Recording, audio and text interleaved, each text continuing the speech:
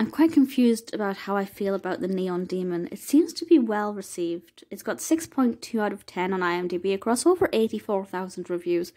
So, in general, it seems to have done well for itself, but part of me feels like it was all style and no substance. And when I say style, I do mean style. This is one of the most visually beautiful films I have ever seen.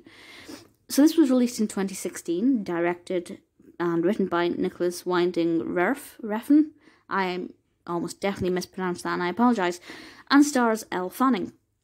The description from IMDb is as follows. An aspiring model, Jesse is now is new to LA. However, her beauty and youth, which generate intense fashion fascination and jealousy within the fashion industry, may prove themselves sinister. This is marketed on IMDb as a horror thriller. Definitely wouldn't say it's a horror, um, but a thriller certainly, and a thriller based on the fashion world that's definitely got my interest.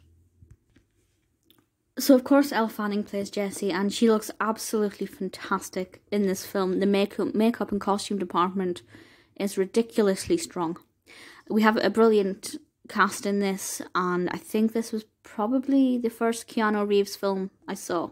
He's not in it abundantly, but um, I expect that that is the case.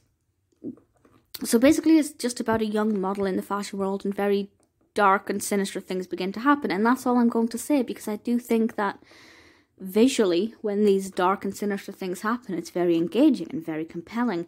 It is, you know, the, the lighting in this film is absolutely exquisite.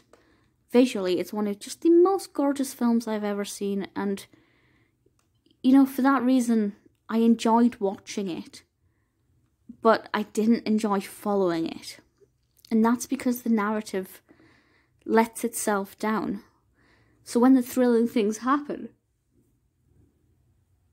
I'm not sitting here thinking, oh, I'm scared, this is terrifying, what's around the corner, what's going to happen next, is that person a threat? I don't care. I'm not engaged with the narrative whatsoever. But when the thrilling things do happen, I am looking at the screen going, oh, that's an interesting bit of editing, that's nice camera work. So, because I'm narrative driven, I know you know some people prefer visual beauty. Some people like me prefer a juicy narrative.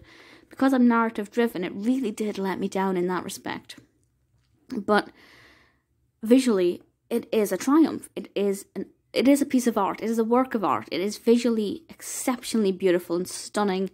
Everything about it on screen is just breathtaking. It just doesn't have the narrative to go along with it. Would I recommend it? Oh, I absolutely I would recommend it because it is absolutely stunning. And I didn't see this in the cinema, but I imagine seeing this on the big screen.